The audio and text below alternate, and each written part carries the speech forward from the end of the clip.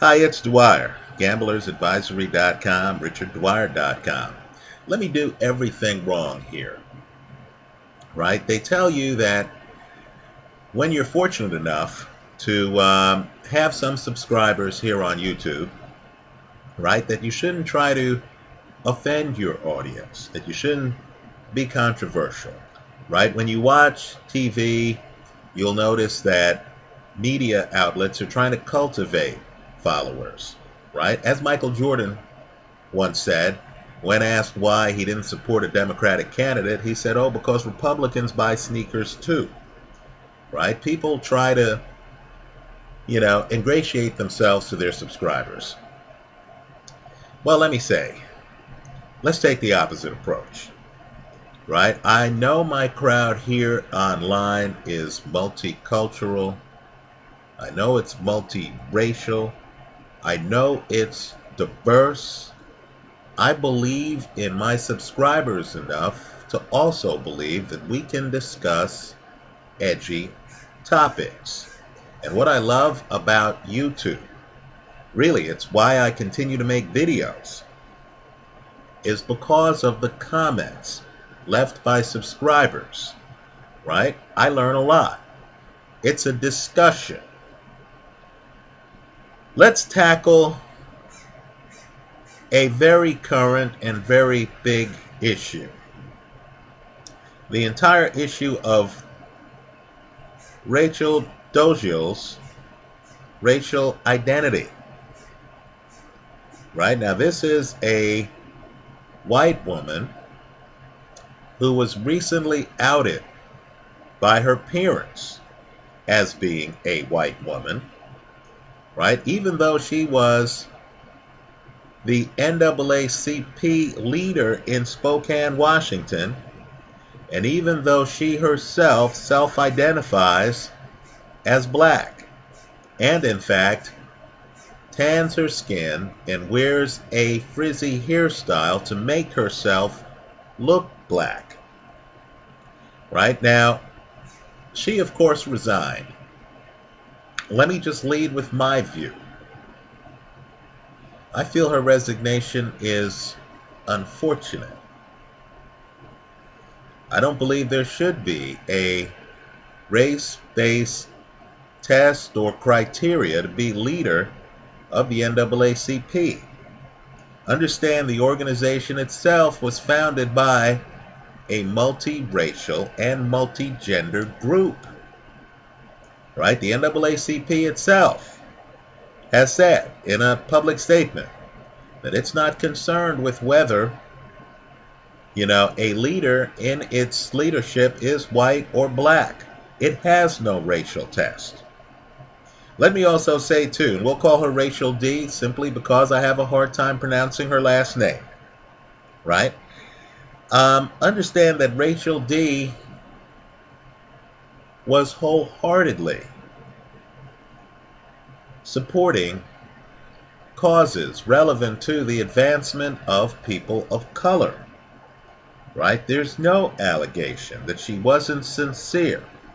Dare I say that she wasn't authentic in her commitment to advance people of color to address issues that impact people of color. Right? In my opinion, spiritually, that's exactly the kind of person that African Americans would want. Right? In positions advocating on behalf of people of color. Right? Someone who truly is driven to advance people of color right? Understand too, I said that she tans her skin. Context is everything, isn't it? Right? To the people out there who believe that this is blackface, you've got to be kidding me. Right? Blackface is something that historically some have used. The people behind Amos and Andy, for example, to denigrate black people, to mock black people. Here you have a woman who loved people of color, I should say loves people of color, and who wants to identify with them. This is the opposite of blackface. There's no mockery intended here. This is just someone who is spiritually fulfilling their own wants and needs.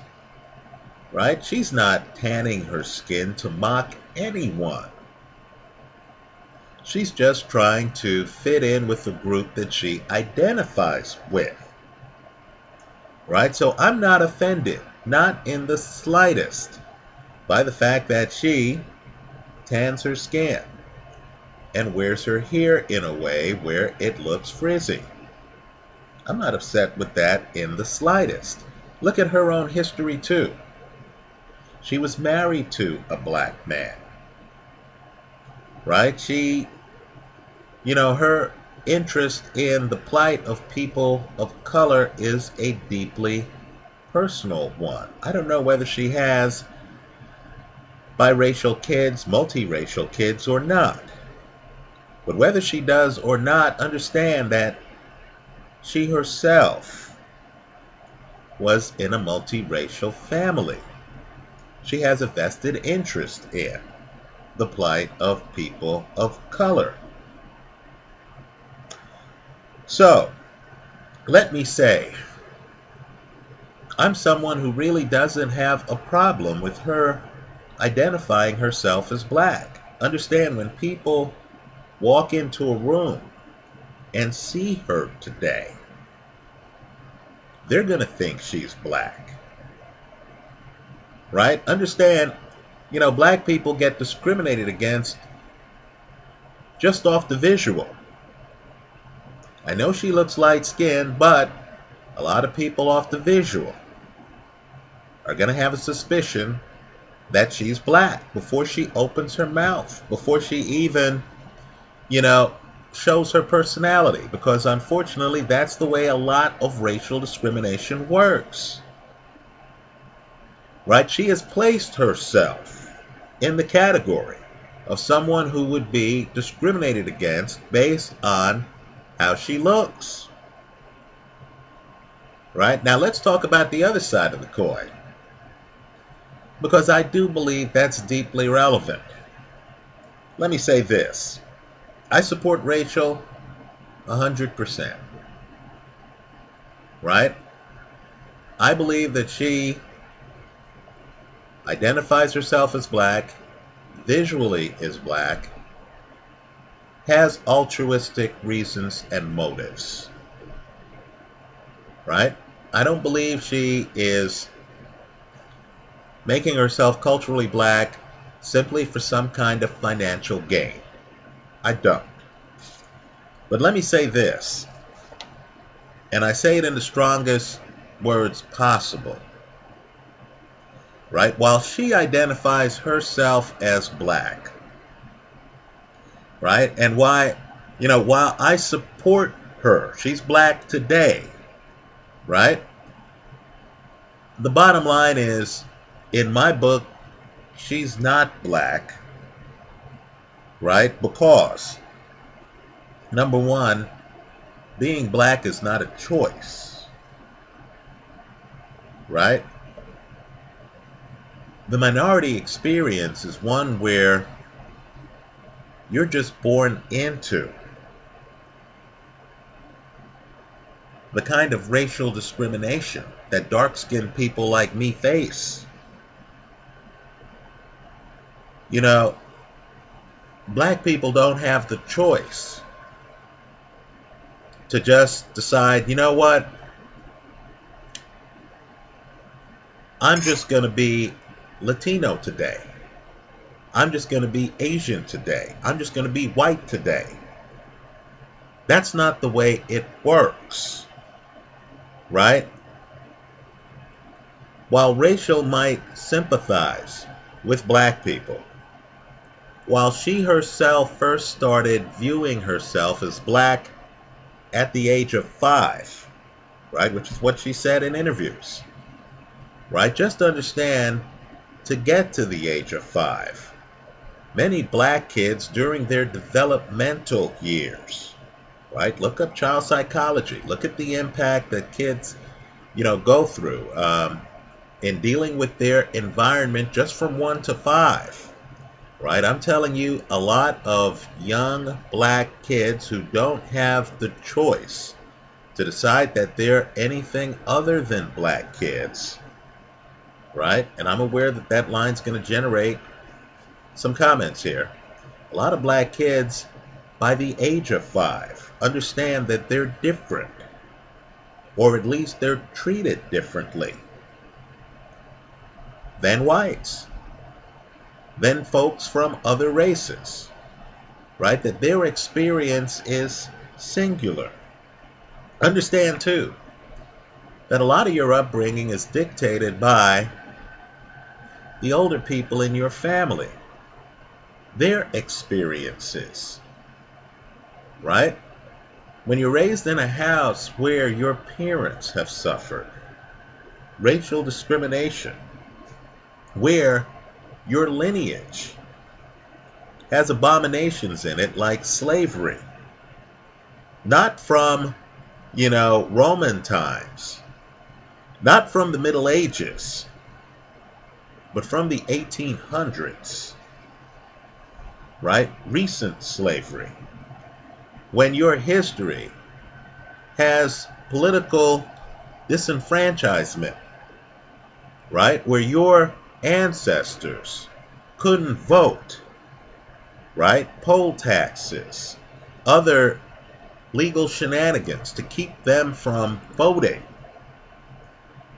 right? Understand that that experience is outside of the experience that Rachel D has had. Right? Understand too, because of that history of slavery and political and economic disenfranchisement, right? Understand it's in the 50s that you have Rosa Parks, where you have a public bus system that wouldn't allow black people who didn't have a choice, by the way, when they're hopping on the bus to suddenly decide, you know what, I'm going to be white and I'm going to sit in the front of the bus. Right? Understand back then, if you had dark skin, if you had my skin, you were in the back of the bus and you didn't have a choice about it. Right? Understand, folks, that's the 50s. Right? Many of the people in your family, or at least some of them, the older people, remember that. Understand if you're a kid in that environment, hearing from these older people. Your version of reality might be foundationally different than Rachel D's. Right? And understand there are consequences. You have a lot more broken homes in the black community. Right? You have a lot less, historically, economic opportunity you have fewer people. While we have role models, you don't have the kind of role models, you know, Fortune 500 CEOs and stuff like that, that you have in communities that didn't face the political and the economic barriers. Right? Rachel D came from a two parent household. Right? No doubt her history is very different than the history I've just described. Right? For her, hearing about the, the Montgomery bus boycotts might lead her to darken her skin, frizzy her hair, so she can feel what the people in the back of the bus are feeling. But understand, that's a choice for her. That's the hard reality for the people sitting in the back of the bus. Right? So understand, I know there are a lot of people out there who were raised in black neighborhoods who have predominantly black friends, right? Who love black culture, right? You know, I applaud all of that. I believe the black community, personally, should have your back. Right? I hope there's an outcry here, and I hope Rachel D feels that she always has the red carpet to come back to the NAACP. Right? I have a lot of empathy for her. I have a lot of admiration for her. This is a very brave person. No question about it. But at the same time, just like I can't suddenly decide, hey, you know what? Let me have surgery. Let me change my look. Let me be white and then understand what the white experience is, not having had a white childhood. Right? Not having had situations where, you know, I haven't dealt with the kind of Jim Crow laws and Jim Crow culture that's endemic in the treatment of blacks in the United States historically. Right? The point is, folks can think about loving another race's culture. And quite frankly, I think at the end of the day, race is a social construct. But understand, Rachel D didn't have the black experience growing up. Right? When she was three or four, there's no one who would treat her like she belongs on the back of the bus because of the color of her skin in some contexts. Right? When she was reading the history books growing up, people who looked like her, right, weren't forced to the back of the bus right? There isn't the feeling that because of her skin color,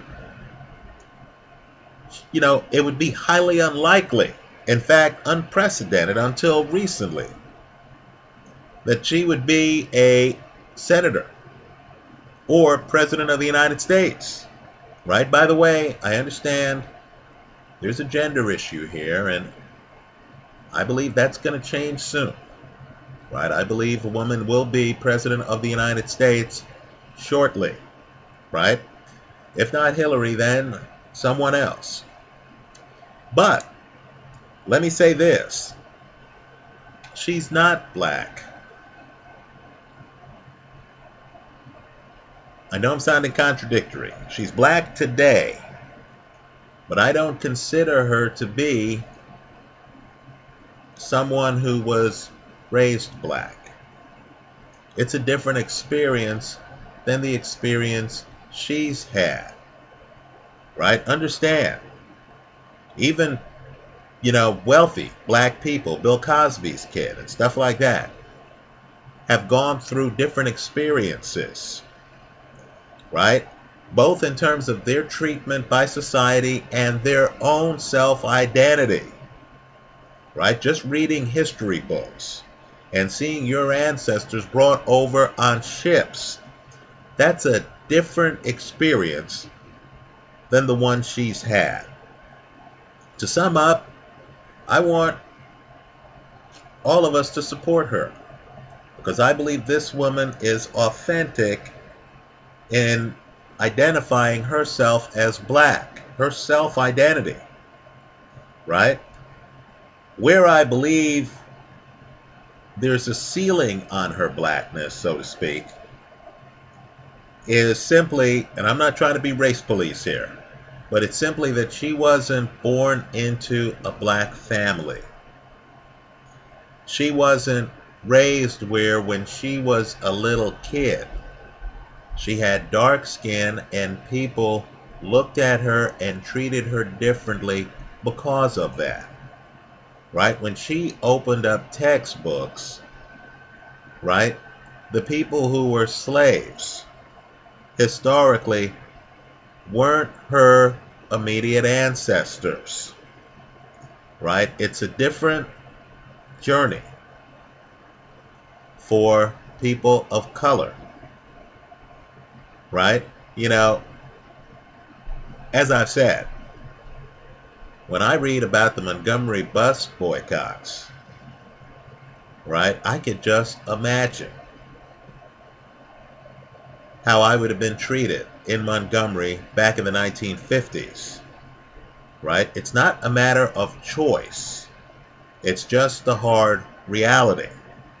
When I talk with older black men, especially older black men from the South, you can see the pain. You can feel the pain. Because I know if I were older and if I were there, I know I'd be treated just like they were treated. I can't tan my skin, frizzy my hair, and then have the same level of shared history. Right? Have the same level of identification.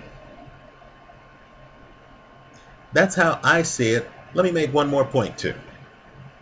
I really believe that, and I know this will be unfair, but people of color need to be more inclusive than, let's say, white culture. Because we know what it's like to have been excluded.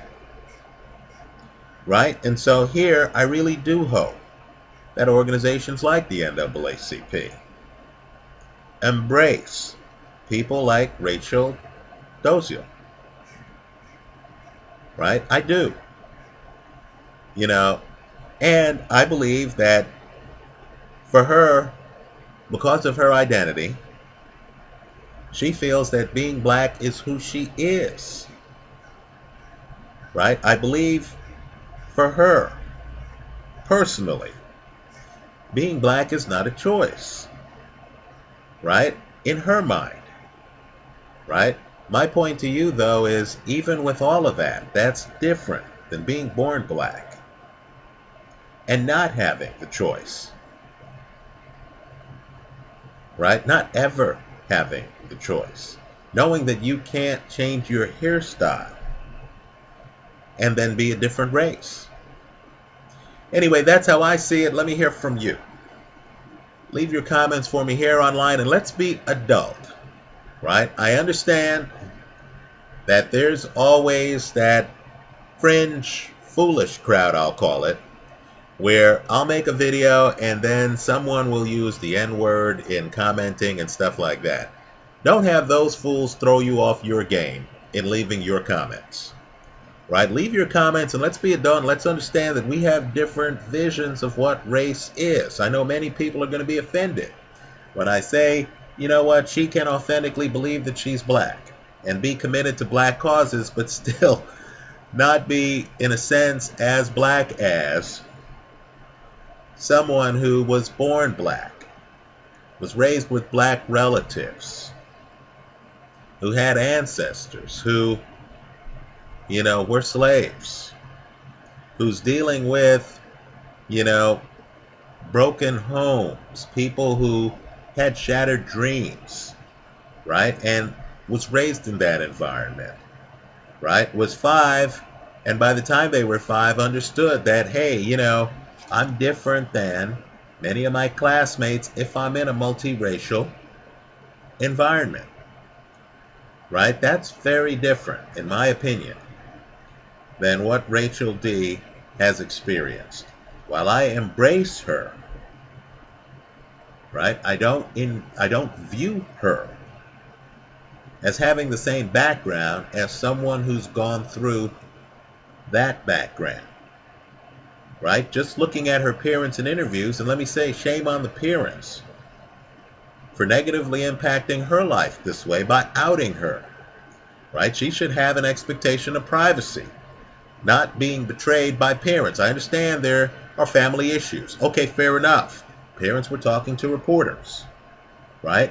But let me say this just looking at her parents, right? You know, nuclear family, looks like the parents are living in, um, you know, some place that, you know, isn't quite the hood, right? You understand her background's a bit different than the background, I would say, of many of the constituents who, of course, look to the NAACP for leadership. That's how I see it. Let me hear from you. Leave your comments for me here online. Visit us at gamblersadvisory.com. Thanks for stopping by.